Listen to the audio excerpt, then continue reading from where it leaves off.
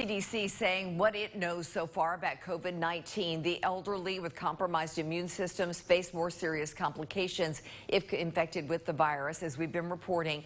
And because of that, the Knox County Health Department is recommending those in that category to stay out of the public if possible. WATE 6 on your side reporter Kirsty Crawford now telling us more about those recommendations. The Knox County Health Department officials saying the elderly with underlying health conditions should stay home if possible. Assisted living facilities are already adhering to guidelines from the health department restricting visitors. Local hospitals are also recommended to do the same.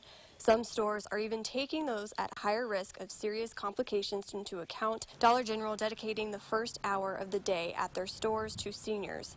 The CDC recommending those at higher risk should take precautions if they do get sick. Talk with their physicians about ordering extra prescribed medications and have a backup plan in case your caregiver gets sick.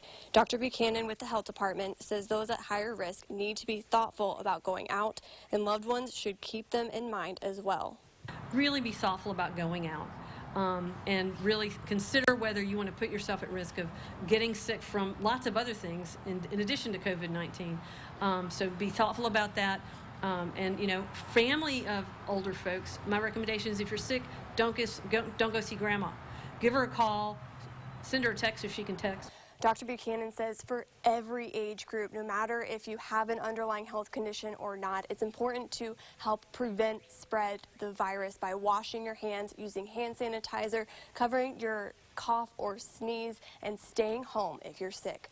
Reporting in Knoxville, Kirsty Crawford, WATE 6 on your side. All right, Kirsty, thank you. Now, the health department also urging everyone to call your doctor or your local hospital before you head over there. And the Knox County Health Department also launching a COVID-19 public health line. As we've been telling you, we're going to repeat this for you every day in every newscast. Callers are urged to be patient. If you get a busy signal, try your call at a later time, but the hotline is there for you, 865-215-5555. There's also a toll-free number, 1-888-288-6022. The information line will be available from 8 a.m. to 4.30 p.m. Monday through Friday.